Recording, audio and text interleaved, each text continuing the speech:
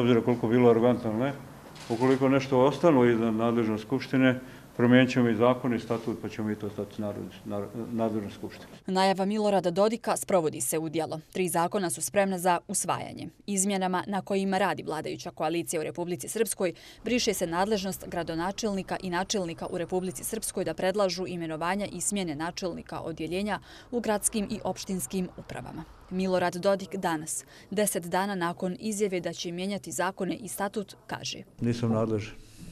Danas nije, a prije desetak dana bio je nadležan za sve. Nije nadležan odjednom ni predsjednik vlade, a podpredsjednik SNSD-a Radovan Višković. Tvrdi da o izmjenama zakona ne zna ništa. Ne zna ni koji ih je pisao, ni gdje. Zna samo da se na tome neće ništa raditi u narednih šest mjeseci. Nisu pisani u vladi i molim vas, znači morate uvažiti, vi ste postavili pitanje, ja sam vam dao odgovor, da li je neko pisao Da li je neko imao namjeru da nešto tako radi? Mogu i poslanici da predlože zakon o Narodnoj skupštini. Vlada niti je pisala, niti je predložila, niti je na tu temu uopšte se bavila ko se onda bavio. Poslanici iz različitih stranaka koje smo danas kontaktirali tvrde da ništa ne znaju. Dušica Šalaja, SNSD-ov poslanik, potvrdila nam je u telefonskom razgovoru da izmjene zakona o lokalnoj samoupravi nema na dnevnom redu na narednom zasjedanju, niti su u klubu SNSD-a o tome razgovarali.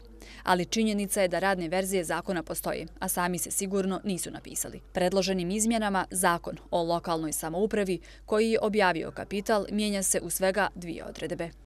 Omogućuje se Skupštini jedinice lokalne samouprave da imenuje i razriješava sekretara Skupštine i načelnika odjeljenja, odnosno službe na prijedlog komisije nadležne za izbor i imenovanje. Drugom izmjenom zakona briše se nadležnost gradonačelnika, odnosno načelnika opštine da predlaže imenovanje i razriješava načelnika odjeljenja ili službe. Imajući u vidu da će nakon sprovedenih lokalnih izbora u većem broju jedinica lokalne samouprave doći do situacije da je gradonačelnik, načelnik opštine izabran podrškom političkih opcija koje nemaju većinu u skupštini jedinica lokalne samouprave, postoji opasnost da zbog političkog rivalstva dođe do otežanog funkcionisanja organa jedinica lokalne samouprave, a samim tim i do narušavanja prava i interesa građana. Stoga je donošenje ovog zakona u opštem interesu građana. Navedeno je u obrazloženju za donošenje zakona po hitnom postupku. Zakonom o sistemu javnih službi mijenjaju se dva člana. Sudeći prema prvim izmjenama, vladajuća većina je spremna da i dalje vlada u lokalnim zajednicama u kojima je na prethodnim izborima izgubila rukovodeće pozicije. Znate čega se oni još boje, odmah da vam kažem? To je potpuno jasno. Sa pozicije koju imam danas, kao gradonačelnik Banja Luki, sa ovlaštenjima koje ima gradonačelnik, skupštinsku većinu, situaciju u Banja Luci i cijelu Republike Srpskoj, bi preokrenuli u tako jednom malom političkom vremenu i oni su toga svjesni. I zato hoće da umanju ovlaštenje. A hajde da objasnim još nešto javnosti da, da, da shvate, da shvatimo svi zajedno još jedno. Mi smo na izbore izašli po jednim pravilima. Ta pravila, kažu gradonačelnik je prvi čovjek grada i odlučio 90% procesa. I gradonačelnik može da radi bez skupštinske većine mnogo. Skupštinska većina bez gradonačelnika ništa. Pa mi smo se zato sve naše kapacitete uložili da pobedimo za gradonačelnika. Otkud pravo nekom da to mijenja posle izbora?